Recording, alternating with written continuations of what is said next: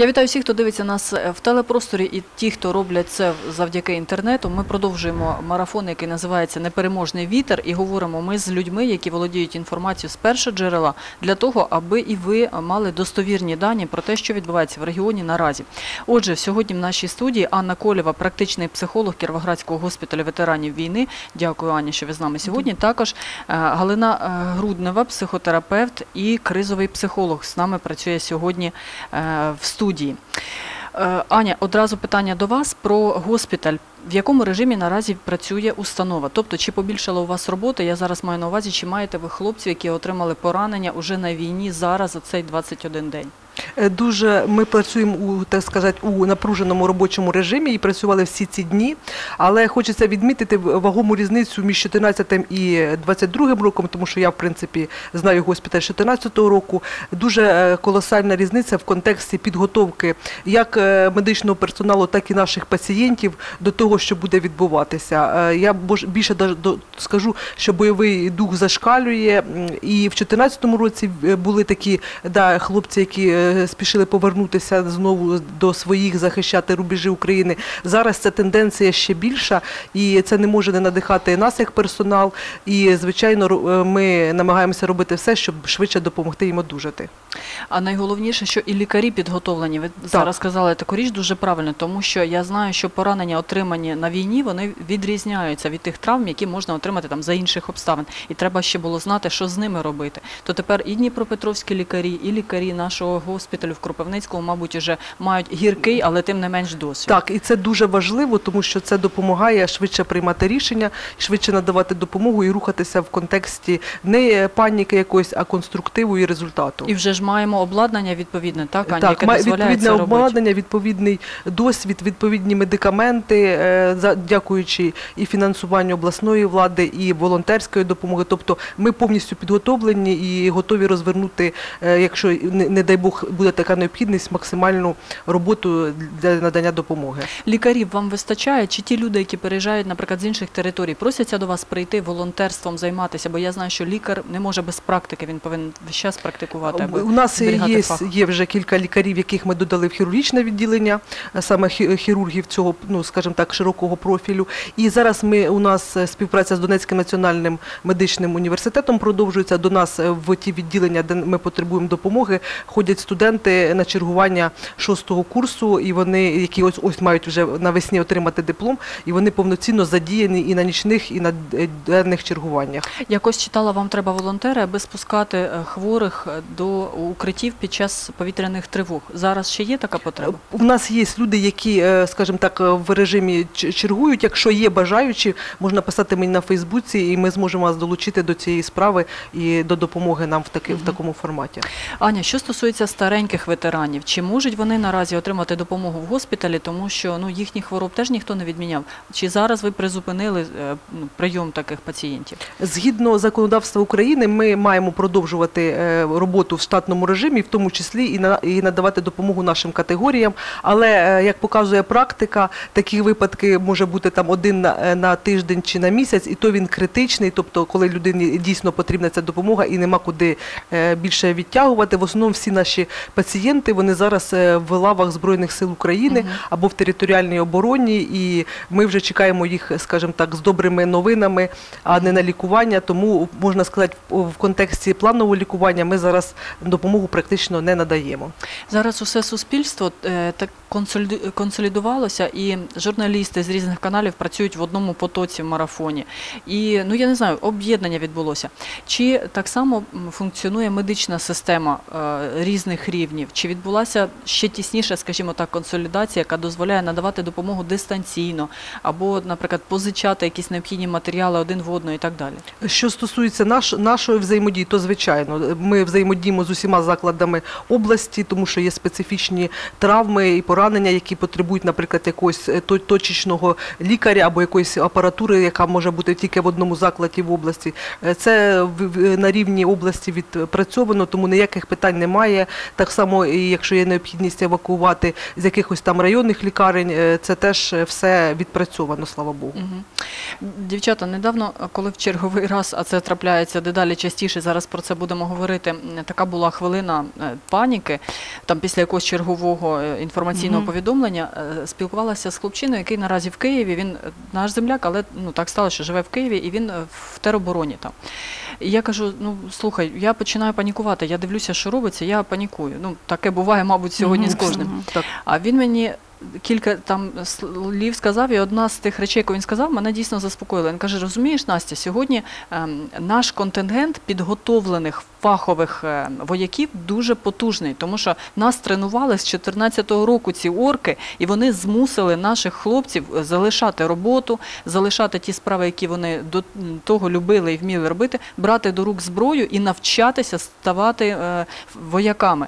Він ну таку він цифру назвав. Я не знаю з якого джерела, можливо, вона не точна. Ну він мені так сказав. Це близько 500 тисяч. каже, це контингент, який за ці 4 роки пройшов війною навчання. Тому е, будь спокійна, якщо один е, там не знаю, пішов у госпіталь, бо в нього наразі є потреба підлататися, да, то інший і таких п'ятеро встане на його місце. І це не там не знаю, перелякані якісь люди. Це ті, хто вже пристрелений, так би чи як це правильно там називають. Да, да, у них там свої якісь такі термінології. І мене це заспокоїло. Що думаєте ви з цього приводу? Я знаю, що ви маєте просто контакт з хлопцями, які були уже в збройному конфлікті. Чи повертаються вони, хлопці, які в АТО були? Ага. Ну, для того, щоб оцей комусь зателефонувати і заспокоїтися, треба спочатку самі заспокоїтися. Бо якщо є паніка, головне її визнавати. Тобто е, я бігаю, мені страшно, в мене трясуться руки. Тобто спочатку визнати ту реальність, яка є, і е, прийняти її. Прийняти, бо якщо ми будемо е, відштовхувати якусь там, я про це не буду думати, я не буду звертати увагу, це забирає дуже багато сил, і ми нервуємо ще більше. А коли ми визнаємо цей факт, приймаємо, це є, мені страшно, мені це не подобається, і нас це заспокоює, ми тоді бачимо реальність. І тоді до нас приходить думка: а кому я можу зателефонувати, щоб заспокоїтися? Якщо не приходить такої думки, то треба, ну, пані, ну, по-перше, дихати. Це я пропустила. Це саме перший такий момент, коли ми якусь страшну новину чи щось, якісь відчуття в нас захлинули, дихаємо. Глибоко дихаємо, ми тоді продихуємо оте відчуття, які ми не зрозумі, не розуміємо, страх, вічі, там е, ще щось. Коктейлі такі зараз. що- Так, так, так. Тобто ми видихуємо, нам стає легше, ми починаємо помічати реальність, де ми, що ми, наче все тихо, сирена тільки гуде, не бахкає. Тоді хух, а кому я можу зателефонувати, а кому ще щось. І паніка, а, ну вона, ну, щоб е, знизити тривогу і паніку, треба щось робити. Заземлятися. Заземлятися, по-перше, побачити, де я, що відбувається, що я роблю, навіщо і чому. І коли ми чесно відповідаємо на, на ці свої питання, тоді чому я їм? Я їм тому, що я голодна, чи я заїдаю свій страх? І не потрібно нічого змінювати, просто констатувати той факт. Я їм, бо мені страшно, і їсти далі. І тоді воно поступово, ми, е, коли дозволяємо собі проживати ті, ту реакцію, яка в нас є, ми о, я їм, бо мені страшно. Та ні, не буду їсти. Мгм. Чи буду їсти? Тобто наша сила в свідомості. Самоусвідомитись треба. Саме усвідомити, що я роблю, навіщо я роблю, і приймати той факт. Мгм. Обов'язково навіть е, ну, геройство відсунути, не намагатися робити більше того, що ти можеш. Якщо нічого не можеш, просто сиди мовчки. Сиди, бійся, там перелякуй і е, ну сам переляк свій переживай. Головне, е, не кидай його на інших. Угу. Як ото дуже часто е, питають: а ти е, виїхав чи не виїхав? Це Зараз ми до Перенос- цього питання перенос повернемося, своїх страхів, Я все-таки хочу поточнити. Ви маєте контакт з, Бо- з- да, це вже ветеранами. були Так, практичні б- такі допом... ну, е, поради, Так, як так. собі допомогти, але я хочу все-таки уточнити, що кажуть хлопці, які відслужили і чи повертаються вони назад? кажуть спокійно. Все спокійно, е, зберігайте спокій, все буде добре, все буде Україна. Ми все робимо для цього, щоб було. Все дуже багато хлопців, мало того, що ті, які були в Україні, вони всі повернулися. Хто на передову, хто в тероборони. Мені е, телефонують і жаліються. Я був в військкоматі, мене не взяли. Кажу, чого? Сказали, бо ти інвалід, сиди вдома. А я не хочу. Тобто дуже багато е, ветеранів повернулися із-за кордону. Дуже багато. Вони там по дві, по три доби майже пішки добиралися поверталися там з Європи, каже, я вже тут на передовій. Тобто, і е, вони всі впевнені, всі впевнені, що все буде добре, бо вони дійсно 8 років цього чекали. Вони чекали, е, в них свої є ем, за що помститися, угу. за товаришів. За вось за вісім років стримування, коли їх там знищували, вони не могли дати відповідь. Зараз во- вони за все це відгрибають корки, і е, люди знають за що воюють. Вони конкретно я воюю за цього, я воюю за матір, я воюю за дітей. А це дуже сильна мотивація. Мотивація, да. Тобто не за Україну взагалі. Ну, а воно це е, як причинно наслідкове. Тобто, коли вони воюють за конкретну людину, це якраз і виходить за Україну взагалі. Про наш Повертаються Да-да. сьогодні на, сьогоднішній день наші пацієнти, два молодих хлопця до 30 років, які повернулися тільки почалася війна в Україні е, з-за кордону. Тому е, люди роблять свідомий вибір, навіть е, організувавши своє життя вже там, вони свідомо повертаються, тому що вони розуміють, що вони мають навики, що вони мають досвід і що вони готові присвятити свою, свою частину життя все-таки захисту України. Хоч, хоч в принципі, звичайно, вони могли б ну, могли не повертатися, тобто як і багато е, тисяч інших е, військовослужбовців, які повернулися за кордону в різних статусах від заробітчан до тих, хто вже має посвідку на проживання і, е, скажімо так, і взагалі вже громадянин іншої країни. Дами, е, це хороші дуже новини. Е, Про е, правильно ви почали говорити про наш стан здоров'я на сьогодні, бо 21 день, ще перший, другий, е, там десятий, а якось трималися. А потім, ну це теж ресурс вичерпуваний, і його Ага. зараз важко відновлювати. Якщо раніше там це була музика, там малювання, щось іще, і простіше було легше, то зараз треба вже прямо робити зусилля над собою. Але е, які поради ви маєте? По-перше, чи нормально це, що пішов такий дещо спад, і люди частіше панікують? І які поради ви маєте сьогодні, ну, умовно кажучи, ем, там, от там, не знаю, якщо в тебе кашель, то тобі спочатку дають мікстуру, якщо він не проходить, потім дають тобі антибіотик. Уже час для антибіотика чи ще ні? Ну, е, як кажуть, е, нова е, звичка формується впродовж 21 дня. Тобто в нас, в кожної людини вже сформувалася якась адаптація до того, що відбувається. Це ті, які дозволяли собі з першого дня переживати шок, переживати страх, переживати вічі, переживати всі ті відчуття, які є, то зараз вже є стабільність, хоч якась. І хто не дозволяв собі цього, то мають почати з будь-якого моменту. Бо якщо ми це не прожили, воно застрягло в нас всередині. І оце е, як посттравматичний стресовий розлад з'являється тільки тоді, коли людина не прожила. Ті страшні відчуття і переживання, які в неї були. Якщо вона прожила, то навіть якщо в дуже страшній ситуації людина була, посттравматичного стресового розладу не, буде. Тобто давай собі плакати, боятися, Так, щось так, іще, кричати. викидати ці емоції. Що- Так, так, так. Що робити? Е, Наприклад, я зараз проводжу групи по е, протоколу. Е, Це короткотривала допомога по стабілізації і е, роботі з тривожністю. Зараз е, у мене вже розписаний графік. Кому потрібно, може знах- дивитися його або на моїй сторінці в Фейсбуці Анна Колєва, або написати мені в приват, якщо хоче замовити там для колективу чи для групи якоїсь людей. Це абсолютно на сьогоднішній день безкоштовно. Завтра вже я проводжу навчання для психологів е, одної з громад Новгород-Київської, де вони будуть е, такі ж самі техніки проводити в онлайн з населенням. Це техніка міжнародна, відпрацьована,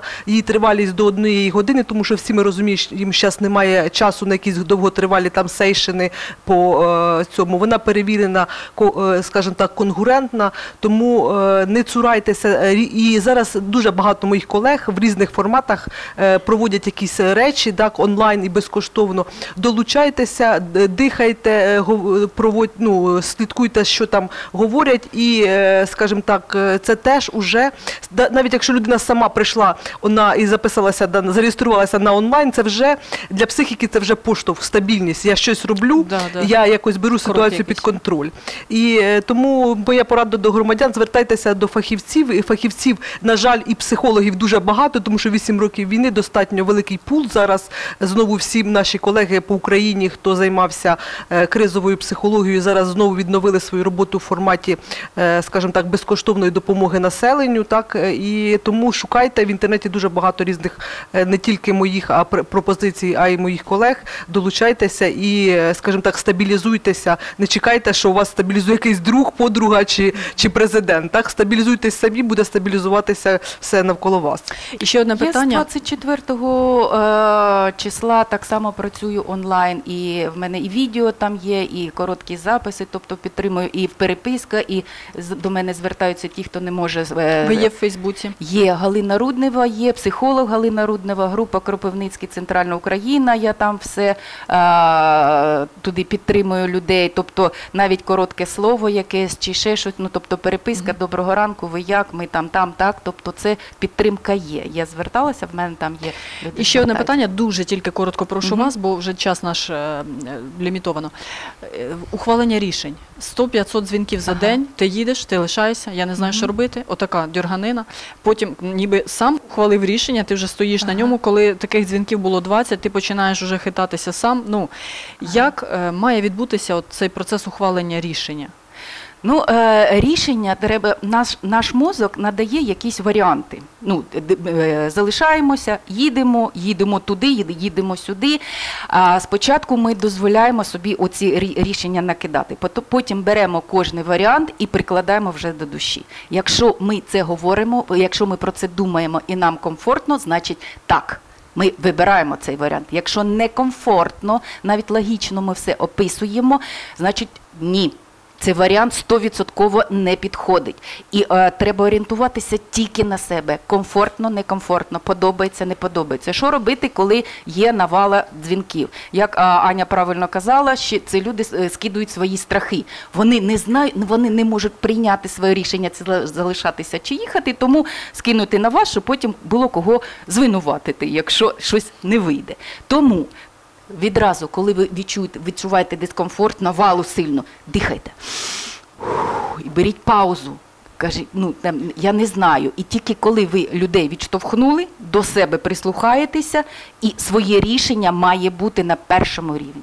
І дивитися на все зі своєї колокольні, як я ставлюся до того, що відбувається навколо мене, як я ставлюся.